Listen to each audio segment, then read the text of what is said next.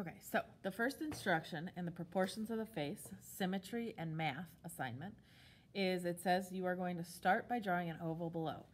Have it come together slightly like a chin would. Step two says you're going to make your eyes. So in order to do so, you are going to draw a, light, horizontal, slightly curved line halfway between the top of the oval and the bottom of the oval. Okay, so all I'm doing, putting my line halfway between the top of the head and what will be the bottom of the head. It says then you are going to draw five of the same size, same shape eyes that span all the way across on, on this line that go uh, touch at the corners and go from the left hand side of the face to the right hand side of the face. Okay, I'm just going to use general almond shaped eyes. They're all going to be generally the same size and same shape. Okay, if yours don't span from the left hand side to the right hand side, you're going to need to erase and try this process over again until it looks the same exact way that it looks on my paper. Okay, since we don't have five eyes on our face, we are going to erase one for the first eye, the third eye, and the fifth eye. Okay? What we are left with was is the size and placement of what our eyes will be and where they will be when we um, are finished with our face. Okay, we are not adding details to these just yet. Um, those will come a little bit later. All right.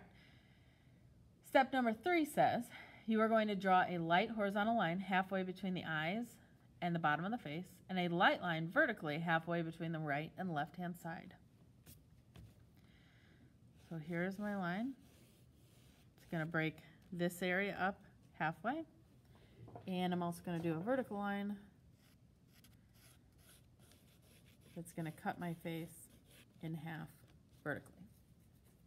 Okay, on the intersection, I am going to do a medium-sized line, and on either side of those, I'm to put two smaller size smaller size circles that sit slightly above the medium one.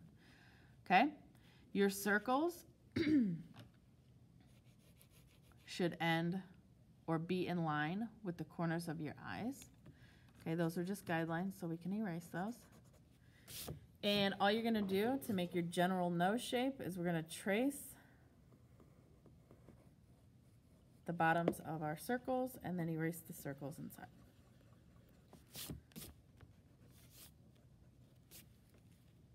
Okay, leaves us with just the general shape of a nose.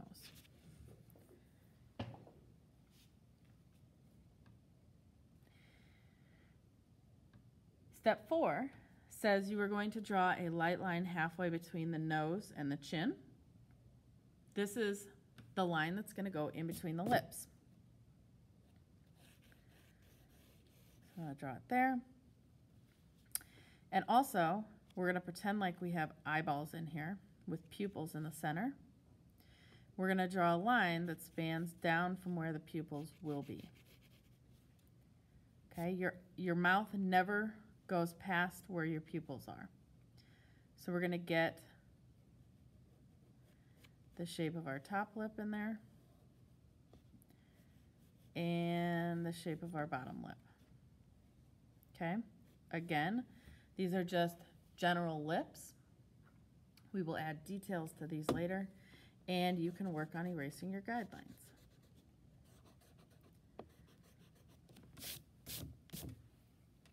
Okay, the next step is we're going to get the ears in, and ears always go in between eyes and nose. They start at the eyes, they end at the nose. So we already have our guidelines up there. We're just going to put in a couple of general shapes of ears. Okay, this will set you up for the, um, the how-to video on how to add details to the eyes first. Then have the how-to video on how to add shading on the nose. And finally, on the lips.